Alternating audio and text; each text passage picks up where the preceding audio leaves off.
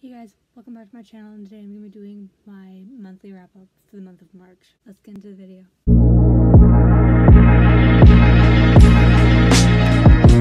As of me filming this, I only read, was able to complete one book, but hopefully I will be able to read more so, and I will add them to the end of the video. This was a buddy read that I was supposed to finish up last month, but it happens.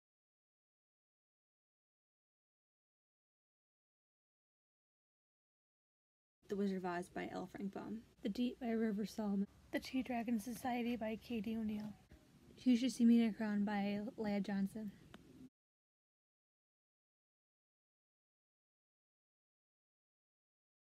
Also forgot to mention, myself and Emma Novella are going to be hosting a readathon in April called the Autism April Readathon. It's going to be for the whole month. I am going to be hosting three reading sprints, two of them for the Disability Readathon, and the other one being just for fun, featuring Laura from Let's Get Fictional and potentially Emma from Emma Books. Um, you will see once it gets closer. But I will leave the, my original announcement video in the Lubu and the up up in one of the areas. Like one definite book that I'm going to be reading is My Autistic Warrior by Elizabeth Haddon and potentially Queens of Geek, as well as potentially on the edge of gone. Honestly, as long as it's own voices, free reign, up to you. Use the hashtag Autism April readathon and it'll be all good.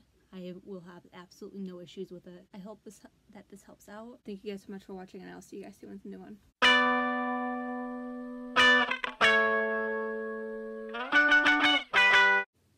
Probably should bring up my TBR, especially considering that I'm co-hosting stuff next month. Excuse me. Anyway, I am going to be hosting um, the Autism Readathon, the Autism, the Autism April Readathon. Um, and there are no prompts.